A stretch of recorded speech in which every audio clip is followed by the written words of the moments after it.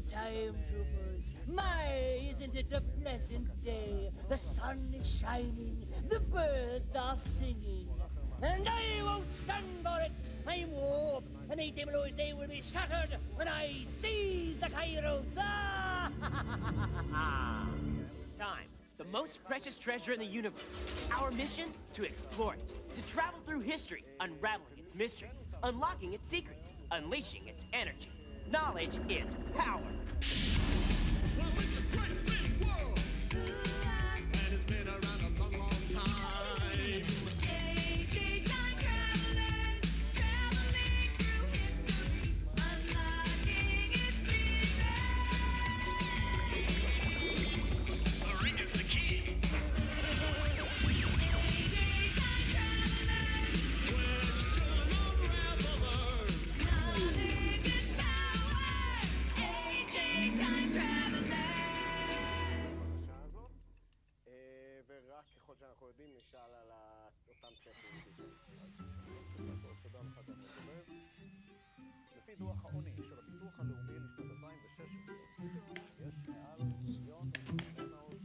Almost ready, dear.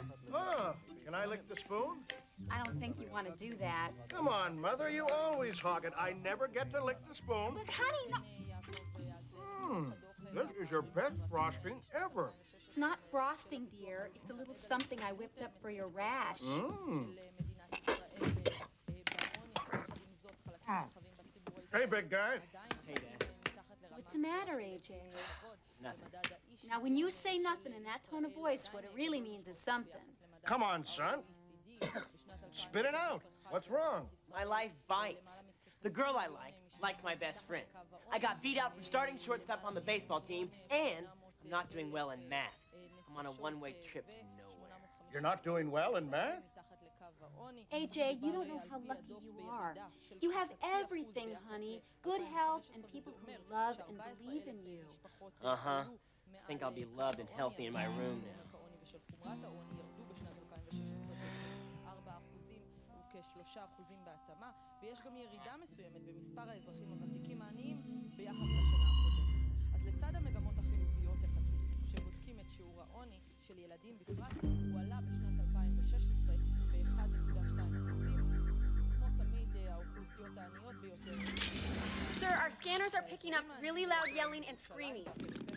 No, not warp again. As if I didn't have enough problems. Okay, prepare the ship for my arrival. Initiate boarding procedures. Synchronize. Scientia Potentia!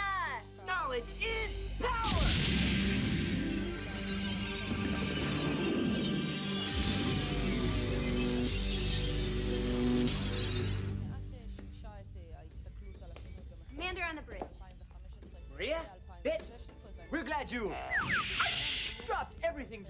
AJ. Whoops, really, Cranky? Maybe he should consider the hair club for villains. Maybe you should consider what your life will be like when I seize the Kyros and make you my prisoners. Nobody invited you to this party, Warp. They should bring Warp along. Every party needs a good dip. I invited myself to this little shindig, but I'll give you the honor of having the first dance at warp speed. I hope no one else wants to cut a rug, because it's time for you to cut the mustard. You don't see that very often. Guy with a chip and a spike on his shoulder. I know a guy with no shoulders at all. He was a real worm. What's your challenge, Warp?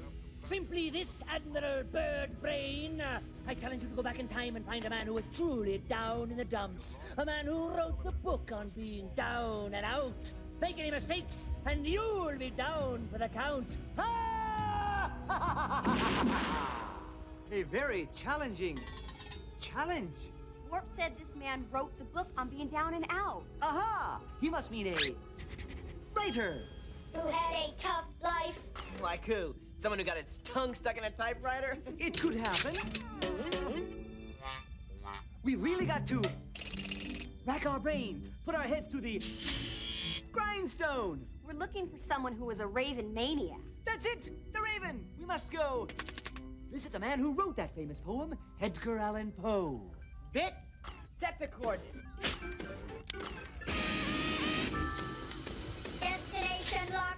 The Big Apple, New York City, New York, in the year 1545.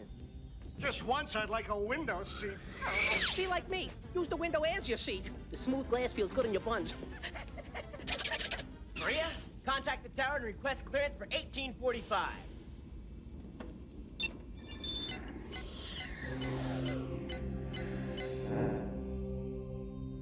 Time Tower, this is the Kyros. Time Tower here. Roger that, Kyros. So, you're going to visit Edgar Allan Poe, huh? Well, if you leave now, you'll be able to join him for an unhappy meal. Is he really that depressed? Well, let's put it this way. He likes his eggs sunny side down. Can you clear us, Pulse? I'll clear you all right. Right to the year 1845. Launch from passenger entry platform 153.662. Let's make time tracks.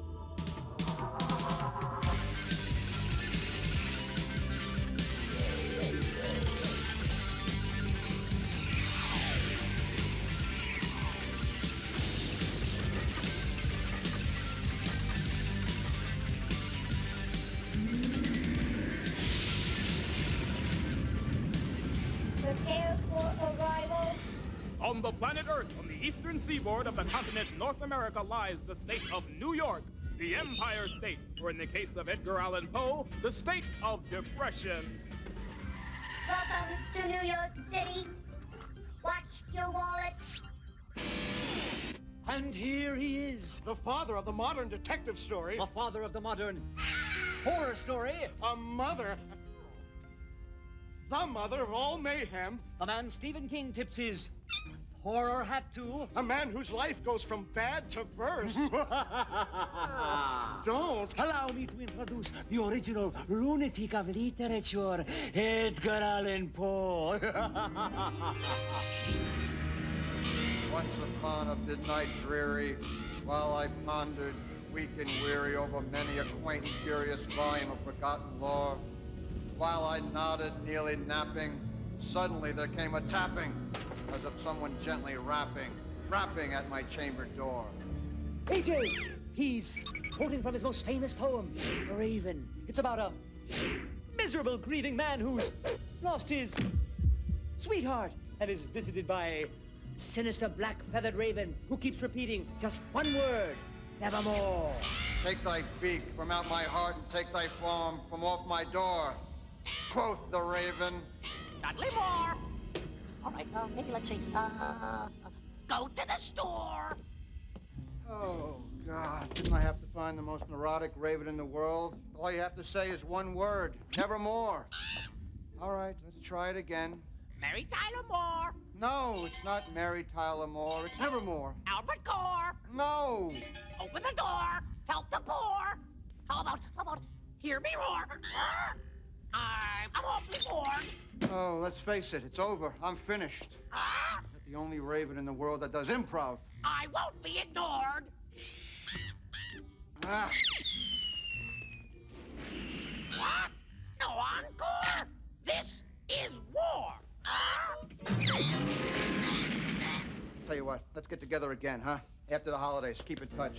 Mr. Poe, we've come from the future to meet you. Uh, that's right. I'm Commander AJ Malloy, and this is the Time Machine Kyros. We're here to learn about your life's work. Yeah, really. I always wanted to spill my guts out to a giant rooster. Uh, seriously, uh, what is that, an orange grove on your head? Huh? Hello, Mr. Poe. I'm Izzy. Wow, I thought I had problems. You're a nightmare. Your poems and stories have given millions of people nightmares all over the world. You're one of the greatest writers in literary history. You're the father of both the horror story and the detective story. Mr. Poe, you're famous. Yeah, I'm riding on a rainbow. Trust me, I'm a loser. I'm nowhere, I'm nothing. Oh, woe is me. Actually, Poe is he. I need this like a hole in the head. Where did it all go wrong, huh? Let's take a trip down memory lane. Or in Poe's case, memory gutter. Edgar Allan Poe, this is your lousy life. You were born on January 19th, 1809, to poor but honest family. Your father quickly deserted your family, and your mother died by the time you were three. Yeah, it's about that time people stopped calling me Mr. Lucky. Adopted by John Allan, a well-to-do merchant from Richmond, Virginia, who later cut you off and disinherited you. Edgar Allan Poe, do you remember this voice? Edgar, if you try to see me again, I will yell for the police.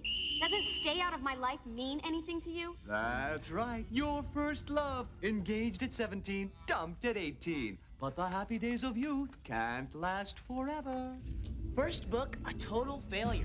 Dismissed from West Point, married your cousin. I thought she looked familiar. Failed as a magazine editor. Heartbroken, penniless, lonely, neurotic. Hello? I repeat, you married your cousin. I could go on, but. Ah, please. Our family pet was an albatross. My favorite childhood game was pin the blame on the donkey. And our family crest was, what do you think? Two mental patients wrestling a pharmacist, huh? And yet, out of the shambles of your life came genius. You created some of the most remarkable poems and tales in literary history. And they were kinda scary.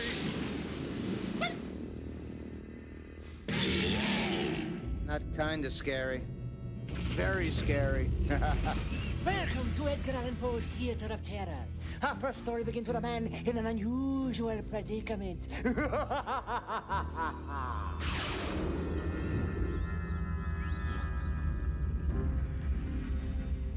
This is the pits. exactly. And no pit would be complete without a pendulum. This is a scene from one of Poe's most famous stories, The Pit and the Pendulum. I read this one. A prisoner of the Spanish Inquisition lies in a dungeon facing certain death as a razor sharp blade swings ever closer. the helpless, terrified prisoner is bound very tightly and is inches away from a horrible death. And swarming over him are hundreds of huge, hideous Cats, right? I'm sure Mr. Poe's gonna say cats. Hey, wouldn't cats make you feel a little more relaxed, huh? But hey, Is it rat? you big baby. Our second story begins thusly. Bark! Uh, hark! What is that fiendish sound? I don't know. Hopefully it's the end of the world. Your cousin. I could go on, but Ah, please. Our family pet was an albatross. My favorite childhood game was pin the blame on the donkey. And our family crest was, what do you think? Two mental patients wrestling a pharmacist, huh? and yet, out of the shambles of your life came genius. You created some of the most remarkable poems and tales in literary history. And they were kinda scary.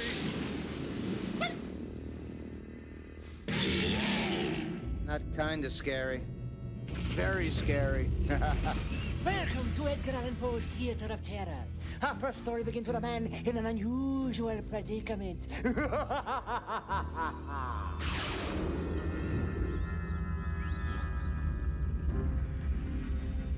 This is the pits. exactly. And no pit would be complete without a pendulum. This is a scene from one of Poe's most famous stories, The Pit and the Pendulum. I read this one. A prisoner of the Spanish Inquisition lies in a dungeon facing certain death as a razor sharp blade swings ever closer. the helpless, terrified prisoner is bound very tightly and is inches away from a horrible death. Oh, and swarming over him are hundreds of huge, hideous Cats, right? I'm sure Mr. Poe's gonna say cats. Hey, wouldn't cats make you feel a little more relaxed, huh? But hey, Is it rat? you big baby. Our second story begins thusly. Bark! Uh, hark! What is that fiendish sound? I don't know. Hopefully it's the end of the world. The sound grows louder, louder, louder. Is it possible you hear it not? Are you making a mockery of my horror? It's the beating of a hideous liver. Not a liver, you mutt. It's a heart. It's a telltale heart. For my brilliant story of the same name. You jerk! A maniac murders an old man and buries him under the floor of his room. While the police ask him what happened to the old man, he thinks he hears the heartbeat of the victim. He rips up the floorboards, revealing his foul deed. Ah!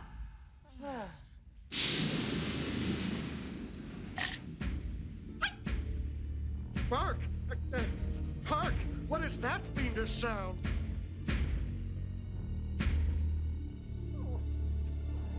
Of course, the telltale tale.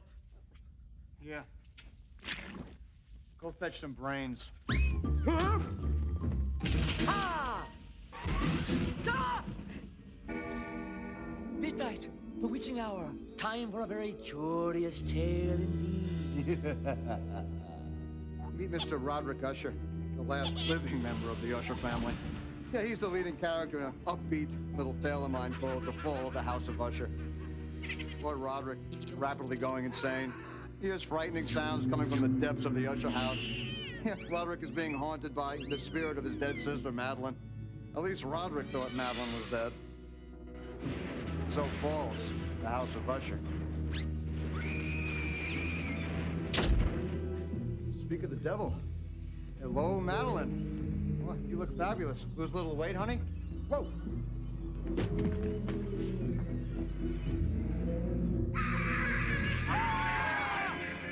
Thought you really fell for Izzy. Ravens, tortures, murders, premature burials? How do you come up with all this horrible stuff? Oh, it's a gift. And anyway, I'm insured for pain, tragedy, humiliation, and very, very bad luck through Blue Cross to Bear. You're not only the father of the modern horror story, you also wrote the first modern detective story. You did? Oof, I love to sniff out a good detective story. Which is surprising, because usually Poochie doesn't have a clue. Detective's name was C. Auguste Dupin. And he first appeared in a light-hearted yarn of mine called The Murders in the Rue Morgue. Mr. Poe is being too humble. The Murders in the Rue Morgue was completely different from any story written before it by any author. Characters created by other authors had solved crimes by making wild guesses or by making the criminal confess. Poe's detective was different. He solved crime through a process called ratiocination. It applied the science of detection and rational thought. And hey, aren't I the king of rational thought? huh? Sure, if you consider stories featuring brutality, murder, and burial before death, rational. Excuse me, Mr. Judgmental, but don't I hang around cemeteries pricing plots, huh? Don't be so hard on yourself. Out of the ashes and despair of your wretched life, you created a style of storytelling that will live forever. Every creepy book, every horror film, every detective story that baffles the television viewer owes a debt to Edgar Allan Poe. It doesn't matter. I married my cousin. I'm a moron. But hey, as long as you have your health. Speaking of health, Izzy doesn't look so hot. This'll cheer you up.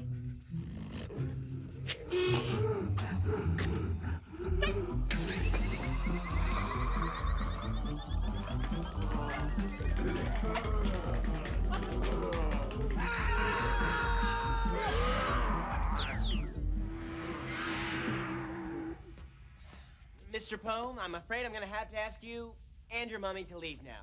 You're scaring Izzy. Leave? You people just don't appreciate funny. Come on, Sparky.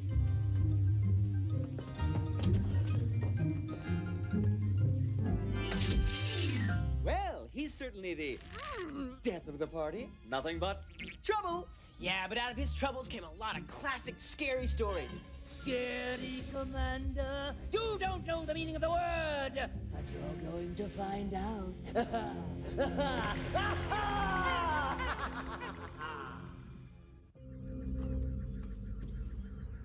Let's just see how ready you are, Commander. Question one. What famous word did the raven repeat? Quoth the raven. Tell me more. Wild guess. Running sore.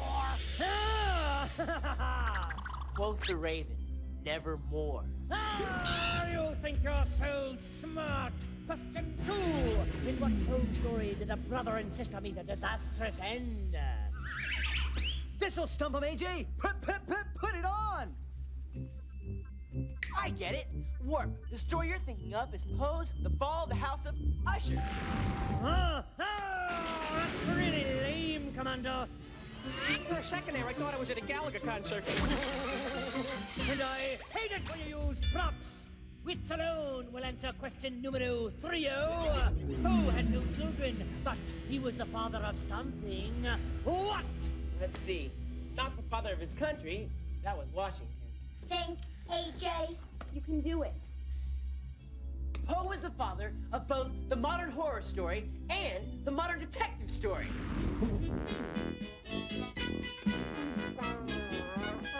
Ah, ah, ah! You've escaped with your scrawny necks this time, but next time it will be the fall of the House of Kyros. Another unanimous decision. AJ, you beat Warp again. And every last bit of information is saved on this disk. Don't let it out of your sight. Knowledge is power, my boy. Thanks, guys.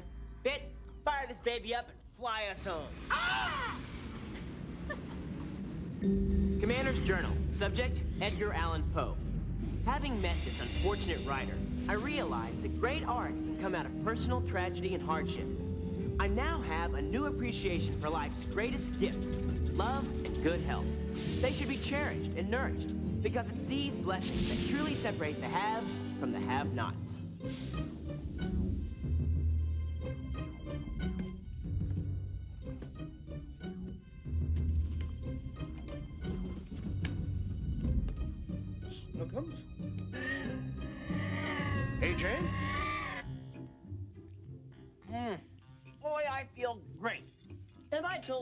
You how much I love you and Dad?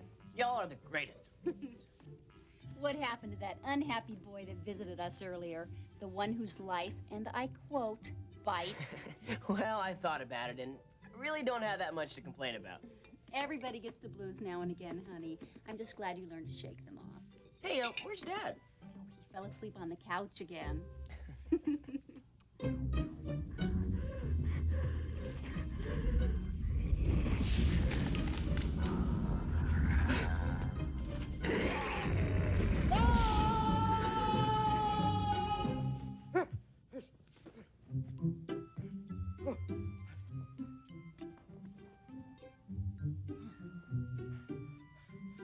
shouldn't have had seconds of that rash cream.